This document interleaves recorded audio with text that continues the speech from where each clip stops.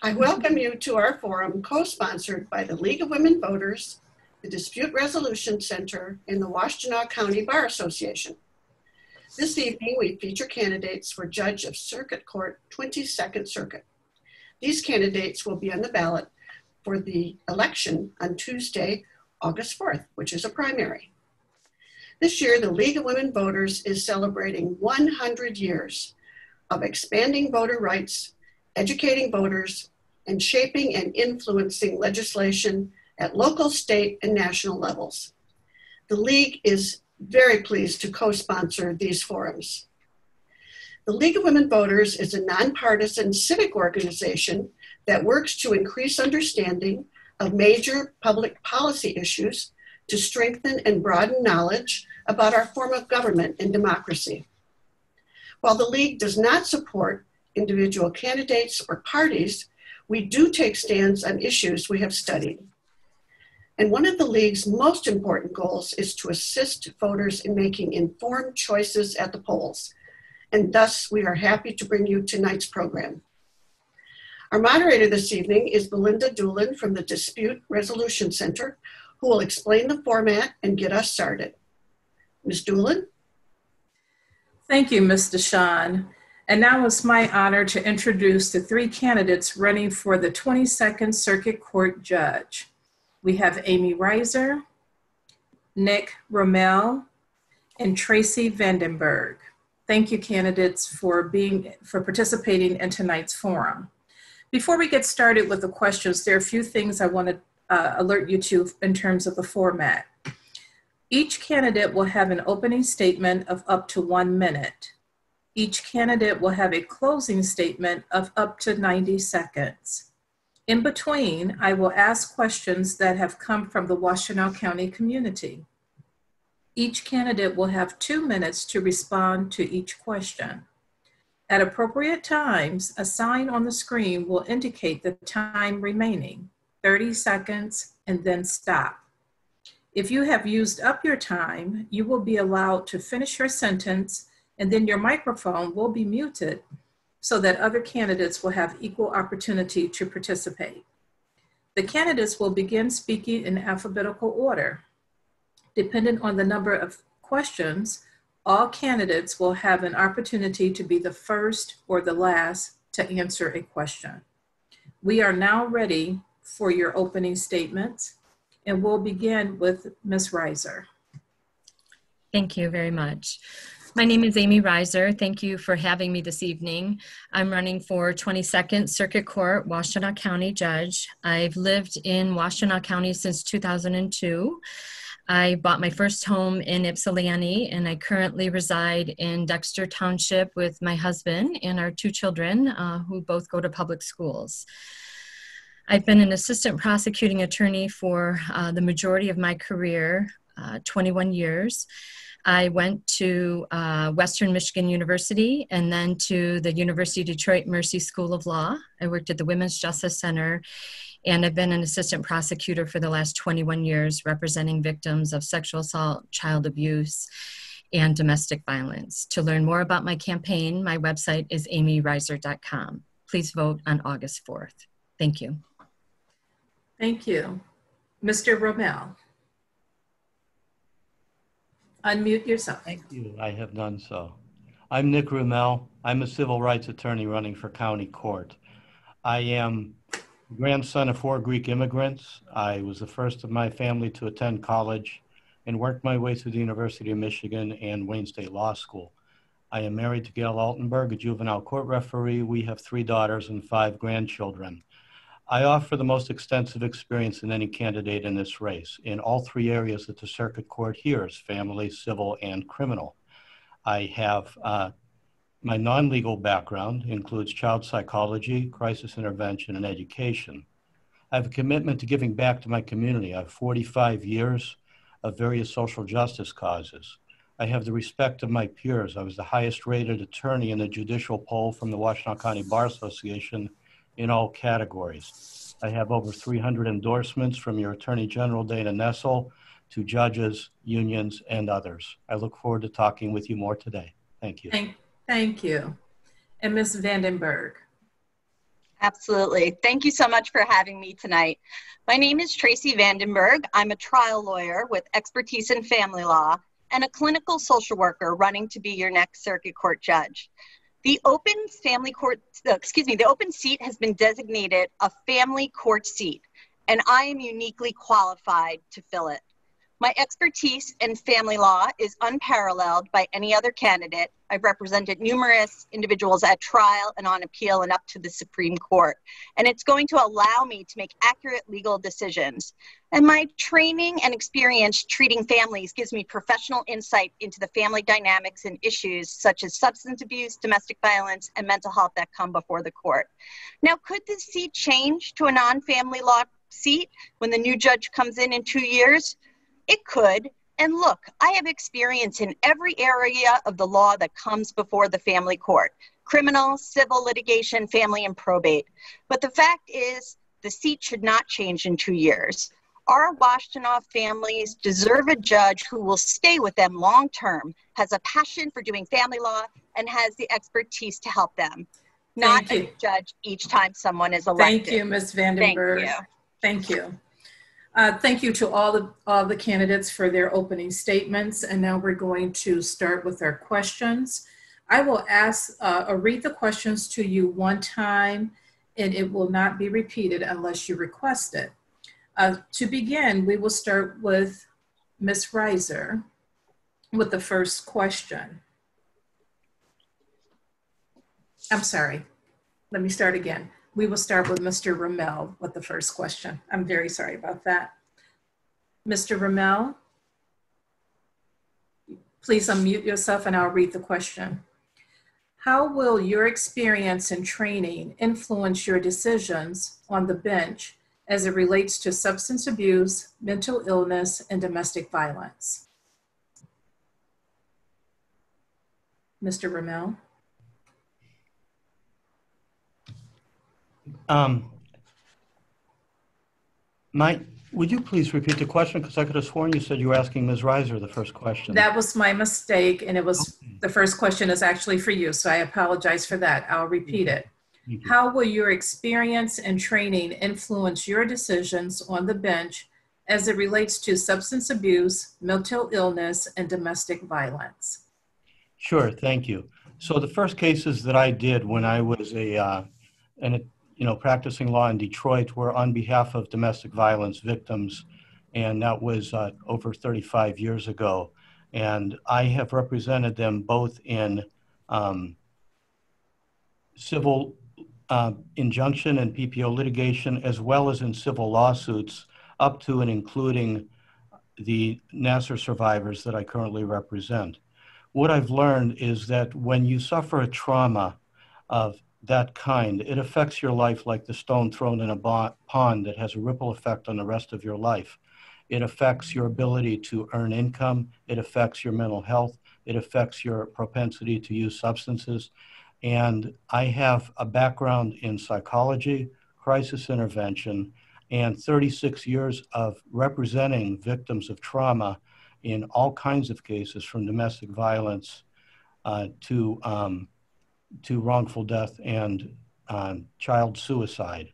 So I'm well versed in the kinds of cases that people have. I know that when a trauma is suffered by somebody, that it often leads to things like substance abuse, that it leads to mental health issues, and the resources we have in this that are available to people are not always accessible. Uh, for example, we have enough trouble with access to the courts.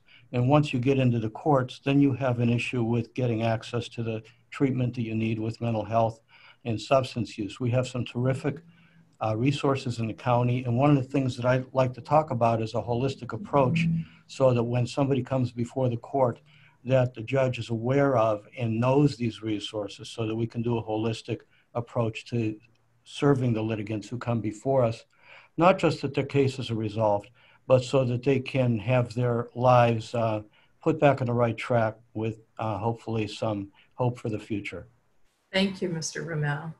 Ms. Van Den Bergh? And, yeah. Absolutely. Well, as I mentioned, I'm a trained clinical social worker. I have a bachelor's and master's degree in social work from New York University. I was a licensed social worker in New York.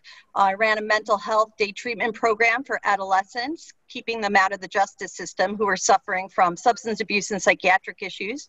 I was also a staff psychotherapist at a uh, adult day treatment facility for adults with um, significant psychiatric illnesses. I also ran a family program for families who had children who were suffering from substance abuse. So I have um, not only di- you know trained in diagnosis individual group and family therapy i treated families for many years and as a matter of fact i also worked in pediatrics where i evaluated child abuse cases um, so my professional training in another discipline um, makes me uniquely qualified to understand the components of mental health and substance abuse and to make sure that people are getting the appropriate treatment. For example, let's talk about trauma. Um, you know, many uh, domestic violence victims suffer from PTSD. And it's still very surprising that judges don't understand that the sequela of trauma is actually changes in the brain. And that often makes a domestic violence victim not the best witness because trauma and PTSD, by its nature, interferes with an individual's memory, with an individual's affect, which is the way they speak. They may talk like this or they may not cry. And then the judge who's uninformed about trauma doesn't realize that person's not crying because they've depersonalized. I don't want to get too technical, but of course my my training as a mental health professional is going to inform the way I assess individuals in the court and in the way that I make sure people are getting the help they need, which is what something that I'm very committed to. When I was a lawyer at Legal Services of South Central Michigan, I had social work students under my supervision who provided ancillary services, and I'll do the same at the court. Thank you very much. Thank you. Ms. Reiser. Thank you. Uh, my experience uh, working with substance abuse, uh, both offenders and victims, um, working with those who suffer from mental illness, and especially uh, working with domestic violence victims uh, for the past 21 years will probably be the biggest asset that I bring to the circuit court bench. Uh, I started my undergraduate degree at Western Michigan University, and then the circuit court in Kalamazoo County had a substance abuse diversion program for women who were charged with felony uh, controlled substance cases. And it was a diversion program to help those women get their lives back together. I worked at the Women's Justice Center representing uh, victims in the domestic violence uh, shelters in, Was- in Wayne County, I'm sorry. And I've spent the last almost 20 years here in Washtenaw County uh, representing the voice of sexual assault and domestic violence victims. So the way that that will translate uh, and help on the family court bench is I will be able to recognize the factors, uh, the red flags, the power and control that um, occurs in a domestic violence relationship when I'm handling the PPO docket, uh, when I'm handling a divorce uh, case. I'll be able to recognize those factors in domestic violence relationships to say maybe these individuals don't need to be sent to mediation because there are signs of domestic violence. I've worked extensively with the mental health court and 15th District Court, uh, both with victims uh, who have been um, involved in the mental health court and also been a victim of a crime. And when appropriate, I send offenders there. If there's someone that's charged with a crime and they suffer from a mental illness, um, if we can protect society um, and send them to mental health court to get the help that they need, that's what I've done for the last 21 years. So I think in this area, I have the most experience uh, to bring to the circuit court bench. Thank you. You're welcome. The next question. The circuit court addresses families that are who are separating and divorcing. We know that parenting time factors establish guidelines for decisions. Do you believe that there should be a presumption of 50-50 parenting time for both parents? What factors will you evaluate specifically to award parenting time? And we'll begin with Ms. Van Den Bergh. Absolutely. So I'll tell you right off the bat that I'm strongly against a presumption of 50 50 custody.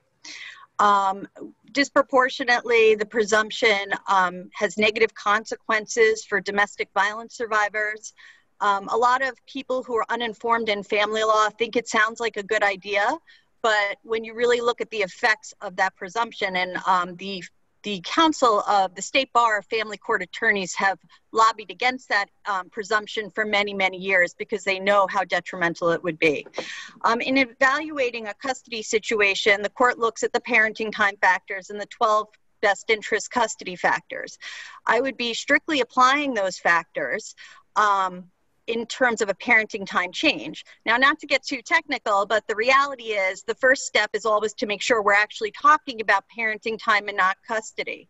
Because if it's an actual, if, if the change would actually result, if the, the change is so dramatic that would actually result in a change of custody, there is actually a statutory framework that needs to be in play beforehand. So again, um, the best interest factors are willingness and ability of the uh, parent to facilitate a relationship uh, with the other parent, ability to provide medical care, food, love, guidance, the moral fitnesses of the parties. I'd be applying all of these factors and determining um, at times we actually look at whether or not um, we talk to the child. Um, and I would be applying those statutory best interest factors and making the determination if parenting time could change. And also making sure parenting time wouldn't change custody. We have to check that first under Vodvarka. Thanks. Thank you. Ms. Reiser. Unmute. Thank you. There you go. Sorry, couldn't find the button. I think uh, I don't believe that every case should be presumed a 50 50 uh, parenting time split between the parents. The family is obviously going through a very traumatic time. I think you look at the best interests for the children uh, and you uh, have to look at each case um, on an individual basis. Uh, is there an allegation of abuse by one parent or the other? Uh, that's a big thing that we'll be looking for uh, in my court if I'm seated as a judge.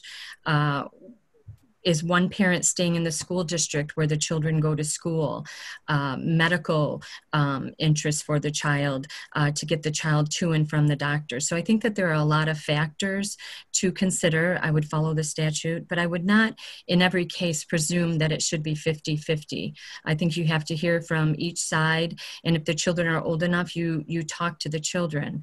But I do know from my experience in, in handling um, these types of cases, it's a very uh, uh, traumatic experience for the family and the children to come to court. And sometimes uh, the individuals sort of lose their sense of reality, and the children can often become pawns um, in this divorce case. So I'd like to be able to recognize that and evaluate each case uh, individually uh, before making that decision. Thank you. Mr. Roumel. I know that 50-50 is a movement that uh, some advocacy groups are pushing. Illinois has just passed a statute. It interferes with the judge's discretion in a lot of ways, and it also changes the analysis when you start with a legal presumption rather than you approach a goal. Let's take, for example, my own situation. I, I mentioned that I'm the parent of three daughters. Two of them are my stepdaughters.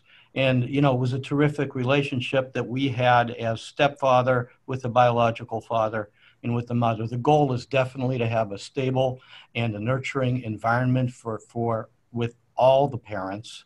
Uh, and extended families are great for kids. You do uh, want to have that as a goal, but not necessarily a presumption, so that you can apply the best interest factors uh, carefully and make sure that, to me, the mo- two of the most important ones are the ability to provide a stable and nurturing environment for the child and the ability to foster a relationship with the other parent. Now, of course, in a domestic violence situation, you change the analysis. The new court rules in Michigan require judges to do, require the friend of court to do a um, an analysis of whether domestic violence has occurred, um, to do a screening before um, at the initial stages of a case. If when I'm elected, I'm going to make sure we do a secondary screening for that. So I'm going to make sure that we look at uh, not just the obvious signs of domestic violence, such as has there been a police report, has there been a conviction, has there been a PPO, but also some of the secondary, uh, the secondary um, characteristics that a domestic violence sufferer may may exhibit, and not necessarily hold them against that person. Because what we do see, and it is true that a uh, domestic violence sufferer does not necessarily present well in court. And I have to look beyond that in order to make sure that everybody gets a fair shake. Again, with the goal that every parent has a good relationship with a child if they're not harming the child. Thank you. We'll move to our next question. And we'll begin with Ms. Reiser on the third question. Cases in which one party represents, um, I'm sorry, let me start again. Cases in which one party represents oneself in a court case and does not have an attorney is known as pro per. Michigan courts seems to be trending upwards in pro per parties to cases. How would you handle pro per parties? And would you have a separate docket? Why or why not? So I would, uh, I think having a separate docket is it may be a good idea if there are uh, several uh, individuals representing themselves. I think you have to allow them a little bit more time and a little bit more leeway um, in navigating the court system. And it's certainly understandable that a lot of individuals in our community may not have the money or the resources uh, to hire an attorney and, and get a divorce and um, deal with child custody if children are involved. So that's a definite reality. And I think that you um, have to allow them the opportunity to be heard and listen to each side. If they're both uh, representing themselves, they both get an opportunity to be heard. And if they're representing themselves and the other side has an attorney, uh, I would listen equally to both sides, understanding that they may not know the intricacies of the court uh, or the court rules or the procedure, but to the extent that the judge can help in that, um, I would definitely be understanding and compassionate for those that have to do that.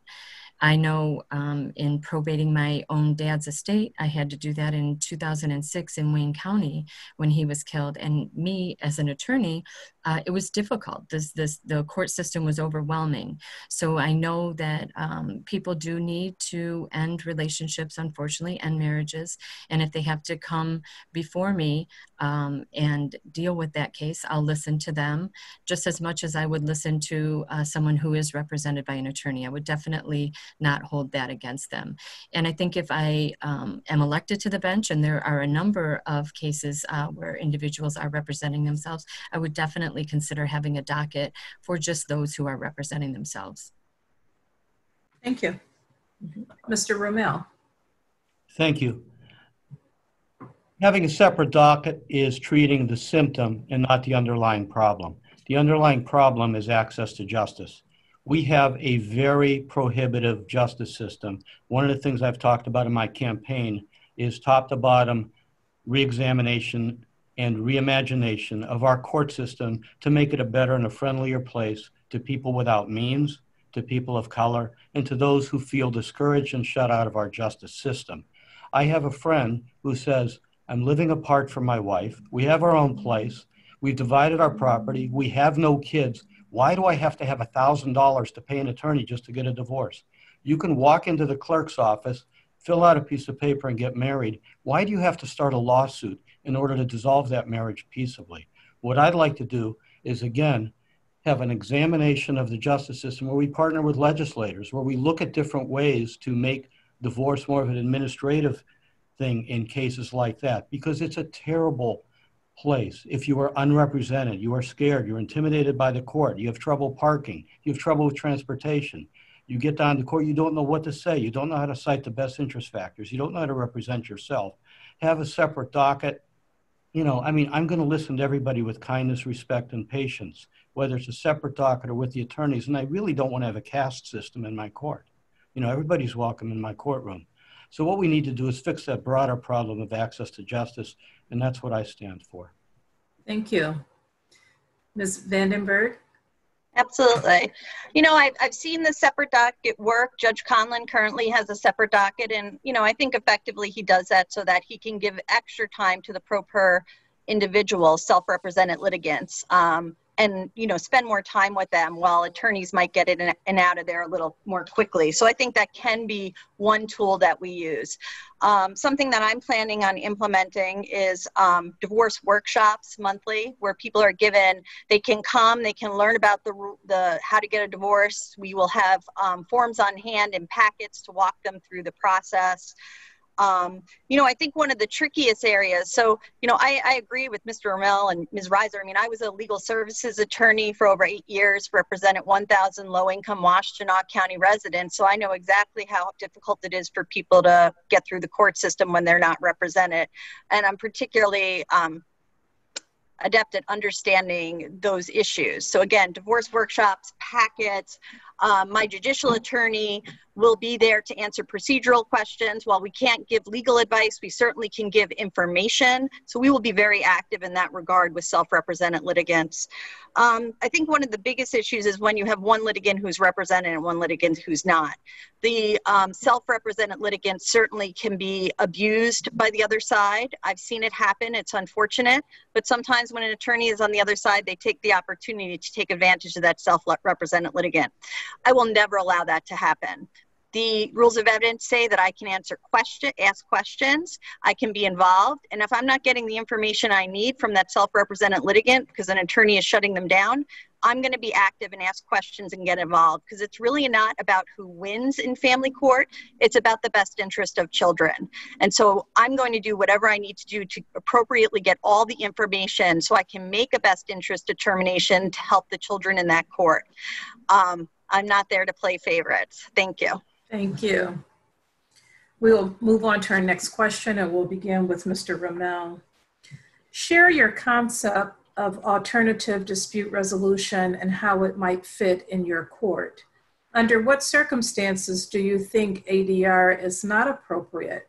If you can, provide an, a case example. And when it and when it is not appropriate, how would you proceed in the problem solving process? Great question from the director of the Dispute Resolution Center. Thank you, Ms. Dillon. So this is a really interesting concept. So I, it is a really it comes down to a case by case basis. Litigation, I have learned in 36 plus years of litigation, is not the best way to solve problems. It's the best way to do it is for parties to make their own peace you know, people from uh, Jesus Christ. If you look at uh, Luke, where he talks about making peace with your accuser on the way to the magistrate, uh, Clarence Darrow, Abraham Lincoln, all talked about the benefit of making your own peace. And when you have equal bargaining power, that is absolutely true. We are blessed in this county. We have some terrific people, retired friend of court people, family law attorneys who do mediation, arbitration. The Dispute Resolution Center has free and low cost um, alternatives as well with trained people. I'm trained through the Dispute Resolution Center as a mediator myself, but it's not always appropriate. It's especially not appropriate when you have unequal bargaining power, when you have domestic violence. And this is where the judge needs to come in because the caution here is that a mediator, a private mediator, adds to the cost of, of a family law case. It adds to the cost of a civil case.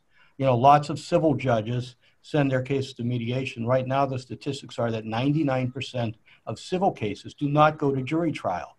And so that we have this shadow system of resolving cases in mediation. And ultimately, we judges who are elected are going to be the ones who are publicly accountable.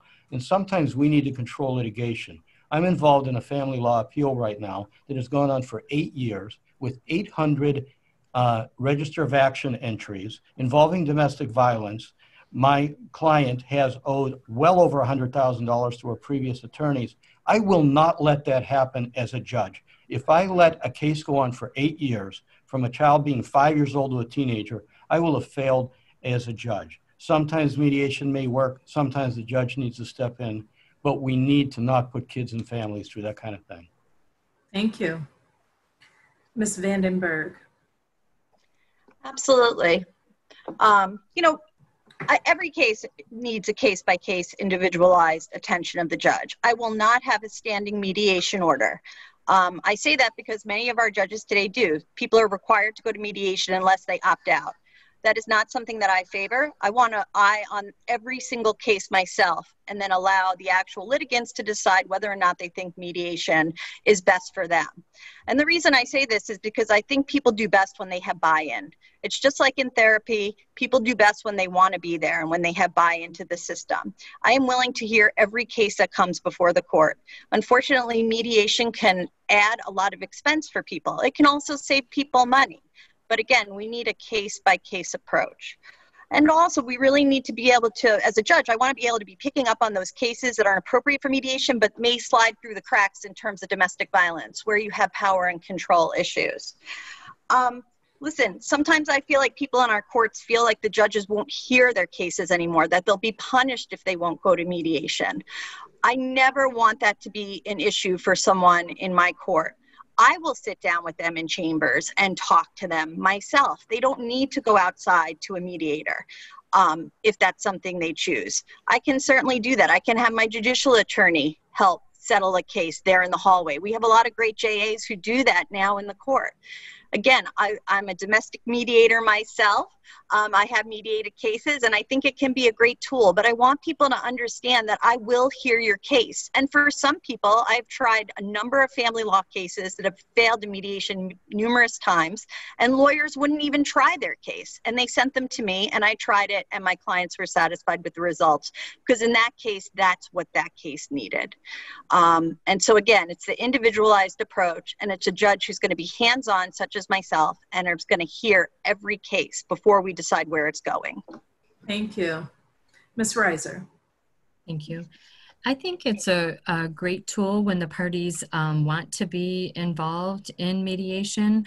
I think that the more that they're involved in a decision that's going to determine the outcome of uh, their family and, and what's going to happen, uh, I think it's inappropriate as opposed to, you know, the judge ruling for or against you uh, when someone could sort of leave on a, on a bitter note. So if the parties are willing to do it, I'm definitely in favor of it. I think it's a very good tool.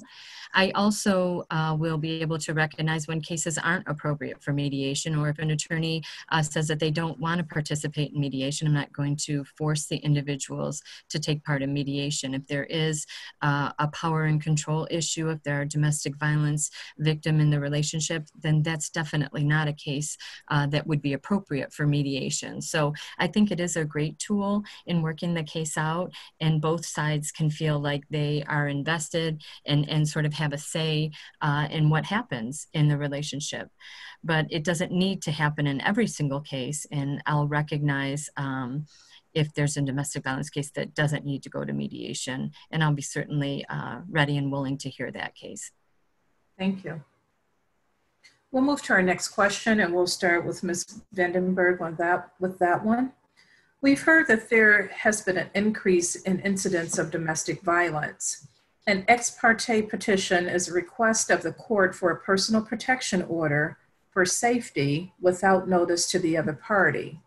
Under what circumstances is it appropriate to grant the PPO uh, on an ex parte basis? How will you evaluate the risk to the petitioner? Well, in general, so the way that uh, risk is evaluated in ex parte PPO is, is, is only on the pleadings. Um, so what I mean by that is it's only on the form that the petitioner fills out in order to issue ex parte. There's um, so from that perspective, the allegations will be have to be so significant and serious that there's an imminent risk to the petitioner that can't wait for a hearing. Um, and, and that's essentially uh, the basis.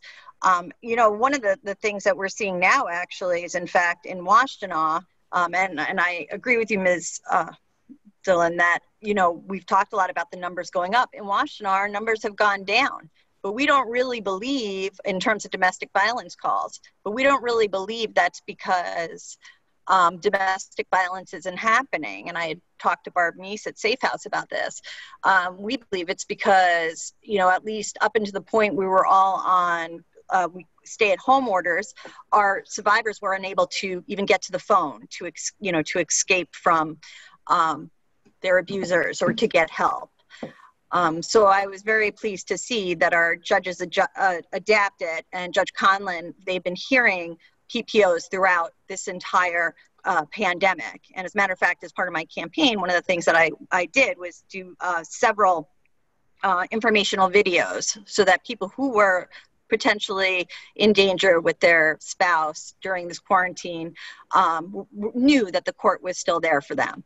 But essentially, again, in an ex parte order, it, they have to be significant issues that the person is, you know, at imminent risk and that their fear um, is is genuine and it's it's a tough call and it's a it's a high level but again i think we should err on the side of caution and that is that is the way that i would look at these types of issues always erring on the side of caution because someone does get a hearing after their after the ex parte order is issued Thank you. Ms. Reiser?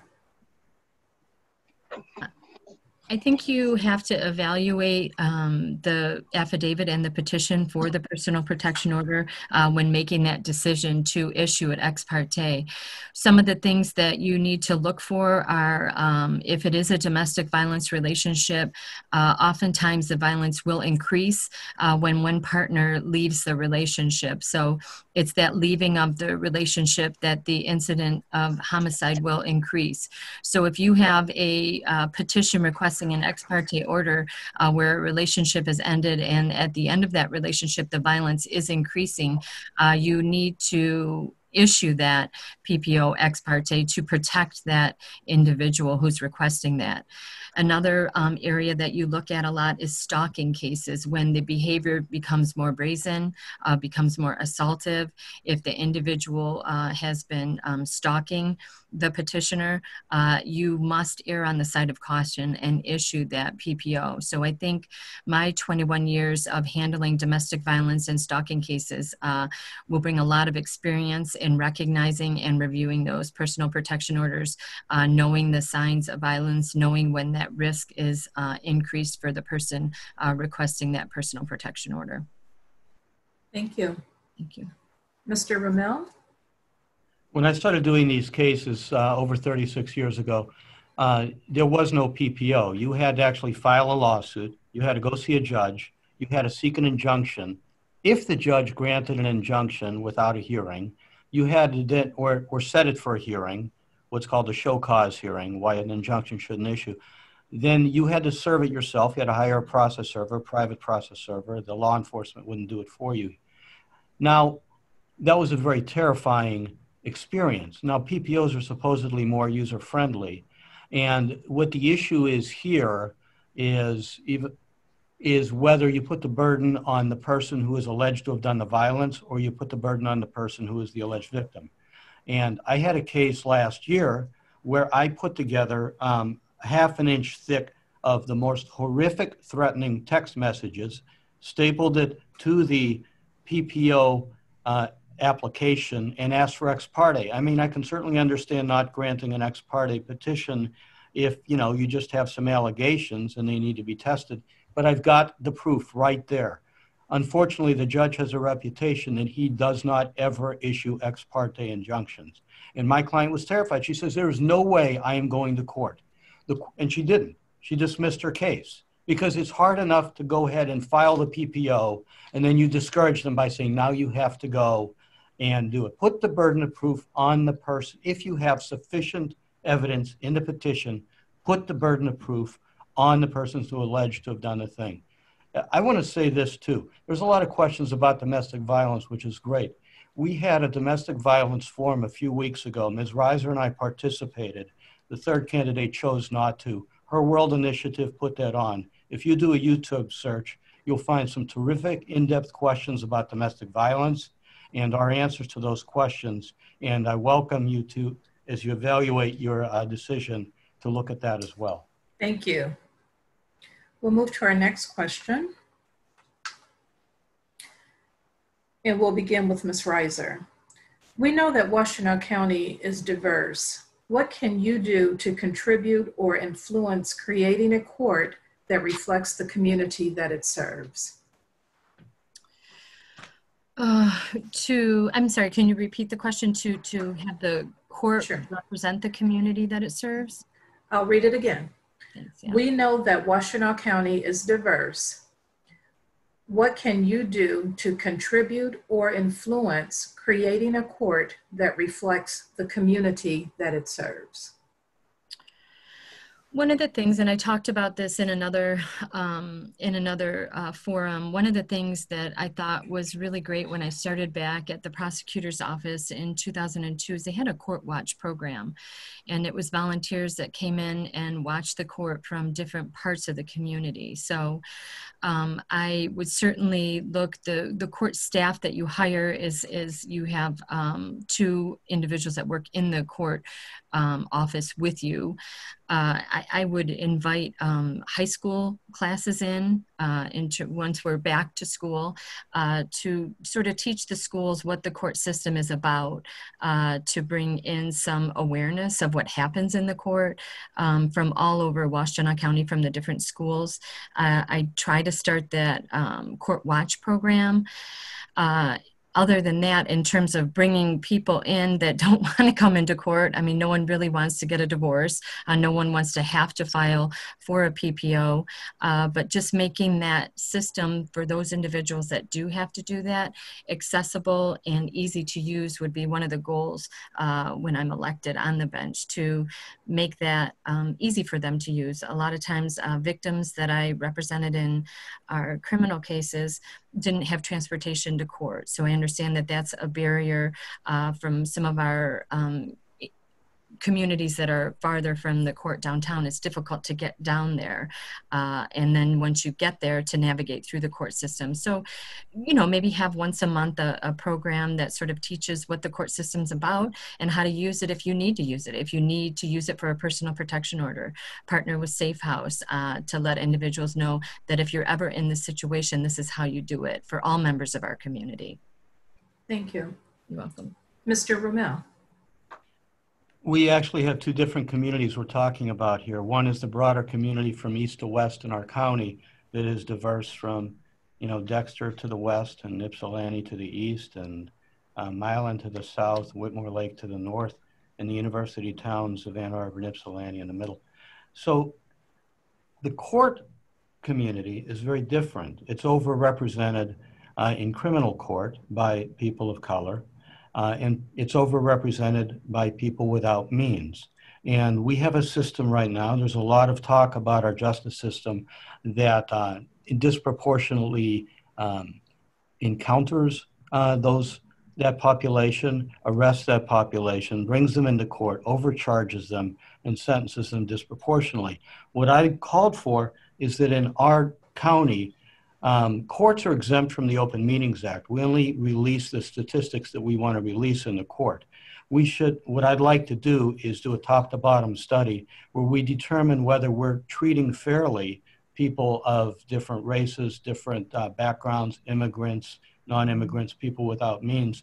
And we release those statistics to the public to, to see what our problems are. And then we approach that as a court community and as a broader community to try to fix that system. So access to justice and fairness in the system is really the biggest issue. You know, we can also talk about things like training my staff in implicit bias, training my staff in diversity, um, in uh, diversity issues and domestic violence issues. And I believe that that's something that the entire court staff can get involved in. We're talking about um, the mental health issues. Uh, you know, we have some great social workers working in the friend of court, for example, who should be screening for those. They're screening for domestic violence. And I want to tap the expertise of all of those people who work in the court. One of the first things I will do is have a conversation with the people in the friend of court, the clerks, the everybody else, and say, what can we do to make the court better and involve them in that conversation. Thank, thank you. Thank you. Ms. Van Den Bergh. Ms. Dulin, would you mind repeating the question? I'm sorry, one problem about being at home is that my dogs were simultaneously barking as you read no, it. I, no, I'm sorry. No problem. I'll read it. I'll read it again. We know that Washtenaw County is diverse. What would you do to contribute or influence creating a court that reflects the community it serves? Absolutely. So, one of the things that I am committed to doing is having a diverse court staff. Now, of course, I don't know exactly what that looks like at this point, but I think it's important for when people come to court to not just see people who look like myself or Mr. Roumel or Ms. Reiser. Um, so that would be a goal of mine to have diverse people working in my chambers. Um, second of all, in terms of restorative justice, we have a great peacemaking court here in Washtenaw County. I've already spoken with Judge Connors about ways we can collaborate on expanding that.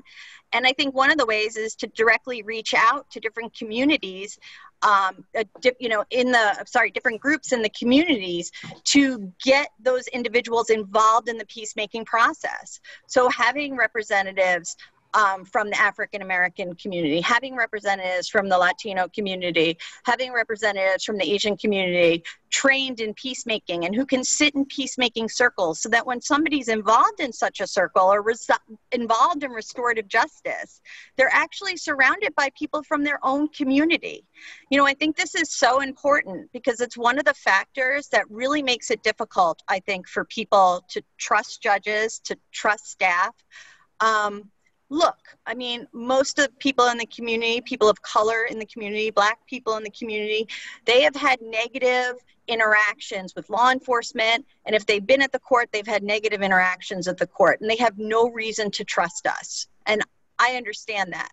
So I am going to work really hard um, to you know bring members of the community into my courts. I'm going to have listening sessions all throughout the community, and um, so that I find out what's going on and if I'm doing a good job. Listen, I work for you. I work for every member of the community, and I'm going to be out there just like I'm out there now talking to members of the community. My campaign has already hit 19,000 doors. I'm walking around, and we're super excited about talking to people and meeting them. Thank, Thank you. Thank you. Well, that will conclude our questions. We'll move into our uh, to the closing statements. We'll begin with you, Ms. Reiser it's time for your closing statement. Thank you. Thank you for um, hosting um, this excellent event. I think one of the most important things is to be an informed voter. So we all appreciate um, the opportunity to speak to um, the citizens so they can be informed. Uh, I think one of the reasons um, and one of the things that makes me the most qualified candidate for this seat is the trial experience that I've had uh, over the last 21 years. Uh, I've spent my career trying cases, trying domestic violence cases, drunk driving cases, stalking cases, homicide cases, sexual assault cases. And that trial experience um, is something uh, that the other candidates don't have. I've spent years in the circuit court before all of the circuit court judges handling cases there, uh, working with victims in our community uh, to, to bring justice, to bring a voice for those victims and those families that I work with. Uh, dealing with trauma will be an asset to the family court bench because when you're going through a divorce, it's a traumatic experience.